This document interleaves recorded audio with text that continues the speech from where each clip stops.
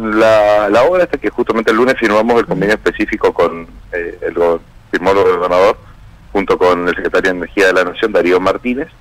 Eh, es una obra que tiene dos partes. Eh, por un lado es la repotenciación de la estación transformadora 132, que quiere decir que nosotros estamos agregando un nuevo transformador en la estación, es un transformador de, vamos a decir, 44 MDA, y como para poner por ahí en contexto, eh, lo que nos permite eso es eh, duplicar hoy en día la disponibilidad de potencia y energía que va a haber en la zona de Iguazú.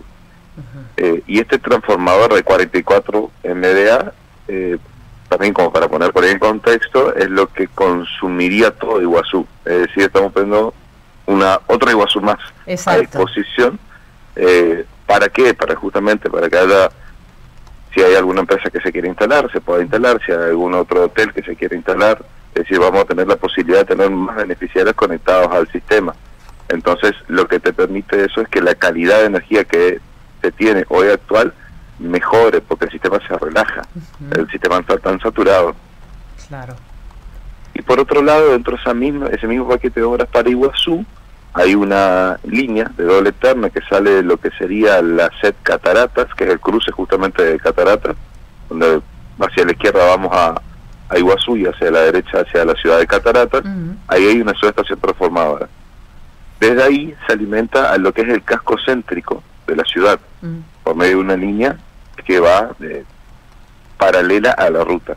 Ahora esa línea es una línea de vieja data, eh, compostación de madera y el gran problema de esa línea que tiene hoy en día es, debido a las condiciones climatológicas que estamos viviendo últimamente, ante cualquier, vamos a decir, viento o situación extrema, esa línea deja de funcionar. Por lo cual lo que nosotros vamos a hacer es remodelar completamente toda esa línea, desde la sede de Cruce Catarata hasta la avenida Aguirre, con lo que sería hormigón armado, una situación de hormigón armado y una tecnología o una configuración, por decirlo así, de los, de los conductores que se van a conectar, que permita de que ante cualquier eventualidad el sistema pueda responder mucho más rápido. Claro, mucho árbol caído también, usted mencionaba las condiciones climáticas y si son postes de madera todavía, bueno, eso dificulta todavía eh, todo el trabajo después, digamos, posterior, porque el, puede caer cualquier, eh, puede pasar cualquier cosa como digamos para que se quede sin energía, pero después el trabajo posterior, ¿no? Restablecerlo más rápidamente el servicio. Exactamente, exactamente, porque tengamos en cuenta que si un poste de madera se llega a caer, cuando se cae del poste de madera, tumba dos o tres a los costados también. Eso. Porque arrastra, y hay que, no es uno que hay que reponer, sino cinco que hay que reponer, y se hace más largo, como decís vos, esa reposición, el tiempo de respuesta. Exacto. Bueno, además de beneficiar directamente a la ciudad de las cataratas, em, zona norte, ¿también se ve beneficiada? ¿Alguna otra localidad más se ve beneficiada por estas obras? Eh, principalmente esta obra en particular eh, beneficiaría directamente a Cataratas, a la ciudad de Puerto Iguazú, pero también sí se ve beneficiado, vamos a decir lo que sería un poco más aguas abajo, de lo que es el sistema de interconectado provincial, sería la zona de Puerto Esperanza, la zona de Puerto Libertad. Eh, ¿Por qué? Porque nosotros quitaríamos, vamos a ir un poco de carga de esa zona que hoy en día estamos transmitiendo desde Uruguay hacia Iguazú, la potencia necesaria para poder cubrir Iguazú. Está bien. Eh, un poco por ahí medio técnico eh, de, entender, pero sí beneficiaría por ahí a esa, a esa, zona particular. Le, preguntaba puntualmente porque hablábamos con el intendente de El Soberbio, que mencionaba precisamente esta firma de convenio y decía que mm, va a ser hasta beneficioso para el soberbio también, este convenio que, estaban firmando ustedes en Buenos Aires. Claro, lo que pasa es que la firma para el soberbio, nosotros firmamos otro paquete de obras. Ah. No este paquete de de Iguazú.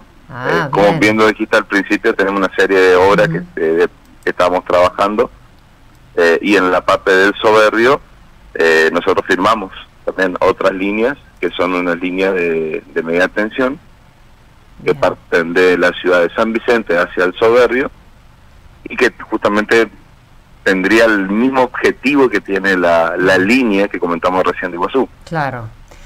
Tiene exactamente ese mismo objetivo. Pero sí, es un paquete para el Soberbio.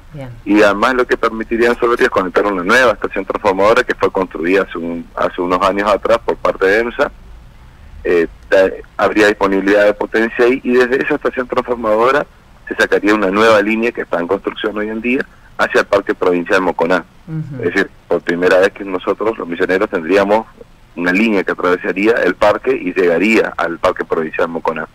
Esto te permite justamente tener un mayor desarrollo turístico en esa zona para que se pueda instalar algún otro hotel, lodge y demás cuestiones relacionadas al turismo principalmente. Claro, este último convenio sería entonces zona más de San Vicente el Soberbio. Eh, sí, San Vicente el Soberbio. Y también firmamos uno que era de San Vicente a San Pedro.